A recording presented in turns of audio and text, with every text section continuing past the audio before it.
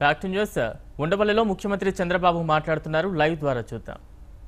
దీనివల్ల రాష్ట్రంలో ఎన్ని కుటుంబాలు ఉన్నాయి కుటుంబంలో ఎంతమంది మెంబర్లు ఉన్నారు కుటుంబానికి ఎలాంటి బెనిఫిట్స్ ఇవ్వాలి? వాళ్ళకి పేదరికం ఎట్లుంది? ఇవన్నీ కూడా అనుసంధానం చేసి మనం ముందుకు పోయే పరిస్థితికి వచ్చాం. రెండవ పక్క గవర్నమెంట్లో ఫైనాన్స్ డిపార్ట్మెంట్. టోటల్గా కంప్యూటరైజేషన్ చేశాం. భవిష్యత్తులో ఏ వ్యక్తికి ఏ బెనిఫిట్ వెళ్తుందో ఫైనాన్స్ డిపార్ట్మెంట్లో చూసుకోవచ్చు.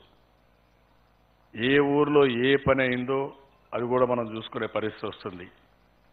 అది ఇరిగేషన్లో కావచ్చు పంచాయతీరాజ్లో కావచ్చు ఎక్కడైనా సరే ఏ పనైనా అవి కూడా చూసుకునే వ్యవస్థ.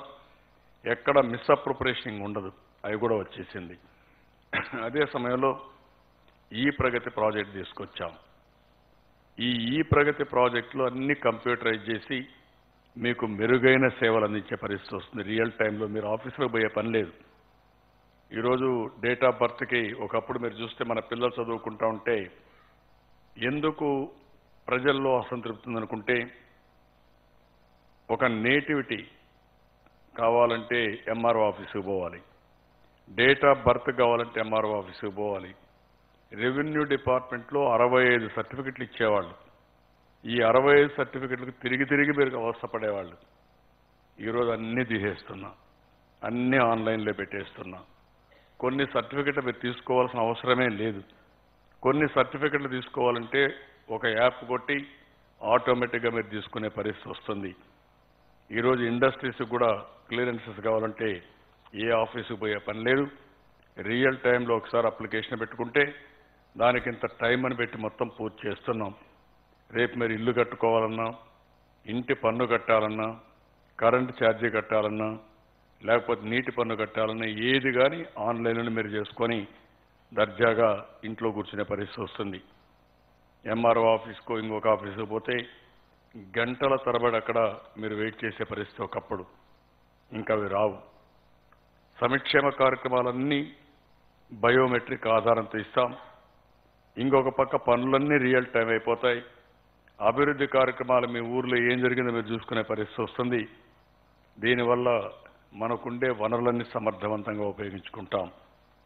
ఆ సందర్భంలోనే ఈరోజు మీరు చూస్తే ఈ భూధార్ ఆ- ఆధార్ ఎట్లయితే వచ్చిందో భూధార్ కూడా ప్రతి ఒక్క భూమికి ఒక పదకొండు అంకెల నెంబర్. ఇంతమంది సత్యాన్ని చాలా డీటెయిల్గా ఎక్స్ప్లెయిన్ చేశారు మీకు. ఒక యూనిక్ ఐడెంటిటీ ఇస్తాం.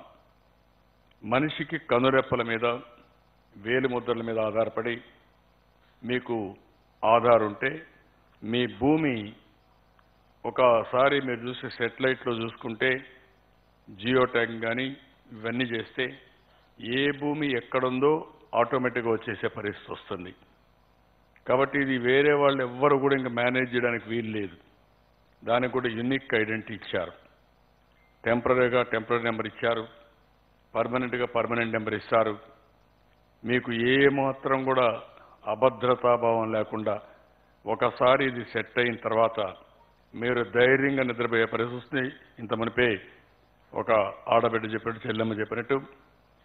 ఇంట్లో వాళ్ళు కూడా మీ పేరుతో మేనిపులేట్ చేయలేకుండా మీరు ఒప్పుకుంటే తప్ప మీ ఆస్తి వేరే వాళ్ళ పేరు రాయకుండా ఉండే పరిస్థితి వస్తుంది. ట్రాన్స్ఫర్ కూడా చేయలేరు.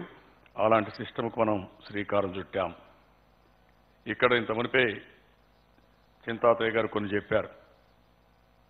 ఒకటి జమీందారు భూములు ఉన్నాయి. రెండు డిస్ప్యూట్ భూములు ఉన్నాయి. మూడు ప్రభుత్వ భూములు కూడా కొంతమంది ఆపుకోనున్న డీకేటీ పట్టాలున్న ఇవన్నీ ఉన్నాయి. ఇలాంటి ఏరియాస్ ఏదైనా ఉంటే ఆ భూములన్నీ కూడా రికార్డులో వచ్చేస్తాయి. దాన్ని ఏ విధంగా చేయాలనో ఒక పద్ధతి ప్రకారం చేస్తారు. ఇప్పుడు మీరందరూ మీ ఊర్లో కూర్చొని మీరు ఎక్సర్సైజ్ చేశారు. ఊయూరు మండలంలో అదే మరి జగ్గైపేట మండలంలో. కానీ కాలక్రమేణా హిస్టారికల్గా ఒక భూమి ఉంటుంది. గట్లుంటాయి. మీకు ఒకసారి సబ్ డివిజన్ అవుతుంది. కానీ ఒక్కొక్కసారి పక్కన అనేక కారణాల వల్ల ఒక అర్ధ సెంటో ఒక సెంటో అటు ఇటు ఉంటాయి. ఇప్పుడు దీన్ని మీ అందరి కన్సెంట్తో సెటిల్ చేయమంటున్నాం. అట్లా కాకుండా ఇంకొక పక్కగానే మెజర్ చేయడం మొదలు పెడితే లేనిపోని గొడవలు వచ్చి ఇంకా అసలు పని పోయి ఊర్లలో కక్షలు పెరిగే పరిస్థితి వస్తుంది. అందుకని దీన్ని మీ అందరితో మాట్లాడే ఎక్కడికక్కడ సెటిల్ చేయమన్నాం. ఒక్కసారి ఫస్ట్ టైం మీ అందరి కన్సెంట్తో సెటిల్ అయిపోతే